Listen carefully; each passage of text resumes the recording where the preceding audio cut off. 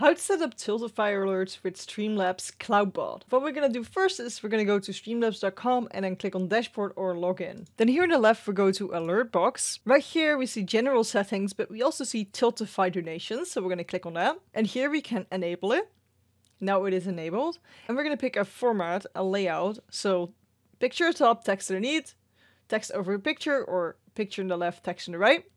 Here we can set how we want the alerts to come in. Bounce up, slide in, flip up, you can set anything. And on this side you can set how it will go out of the screen again. Minimum amount for recent events, I will just keep that on zero so it will always go off. The smallest Tiltify donation can be for the donation event to be shown. So now if anybody donates more than zero, it will go off, so always. Template, you can you can change this. Somebody donated so this much to so now it says Sinju, but we can also make it a special effect, for example. We can animate the text, so we can make the text bounce, pulse, or something like that. I just keep it on none for now. Here we can add our picture. You can just click on it and then edit. And I added this gif of me throwing money up. And then here I added the sound which we can regulate here, the sound volume, and we can set the alert duration right here. I've got music under it that takes 10 seconds, so I keep this on 10 seconds myself. And we can also put a delay on the text, so then we see the picture first, and then after the delay, we also see the text. Then here, we can code it. So if you're good with coding, you can get this on enabled and do things with HTML and the CSS, but I'm not good at coding, so I'll leave that on disabled. There's more options here if you click on this. Tiltify donation message settings. So we can show the message. This is the thing they typed with the donation. Minimum amount to show that as well. The font we wanted it to show in. So how does it look like? The font size, the font weight, so how thick is it? And the color of it. Font settings here. We can also show the donation text, which is the text that's right here, the message template. Which font do we want that to be in? How big do we want to be that? How thick do we want to be it?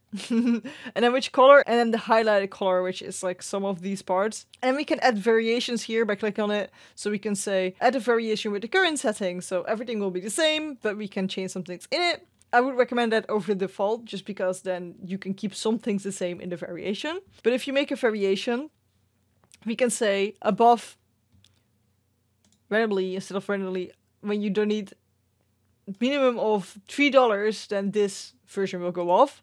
Or if we donate exactly for 20, this version will go off. You can name the version right here so you can remember it. And basically the settings are the same, they're just in this different menu. And then you scroll up here, so you need to make sure that this is enabled. If this is not enabled, it will not go off. You need to make sure that you copy this URL and post it in your browser source in OBS or in Streamlabs desktop. We can also launch it it will not show on stream, but you can preview them basically in here. You can preview them as well by clicking on test Tiltify donation right here. And now it's sent and you can actually test it and see how it looks like in your OBS. When you disable it, you can just click on that again. To connect your Tiltify to your Streamlabs account, go to settings, then click on integrations. Connect your Tiltify account here. If you're not on the right campaign, click on manage and select your right campaign right here. Click on save and you're all set. Make sure that you made Streamlabs a moderator in your chat, so go to Twitch and type slash mod Streamlabs. To make sure that everything works, what we can do is we can go to CloudBot and make sure that CloudBot is turned on.